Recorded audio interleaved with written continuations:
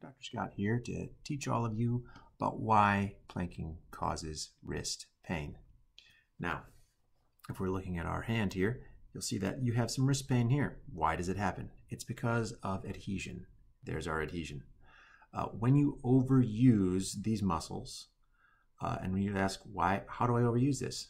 Well, their job is to grab stuff. So anytime you're at your computer and you're typing or you're lifting heavy things at the gym, anything that has this motion, you're going to use it. And if you use it too much, eventually you will develop adhesion.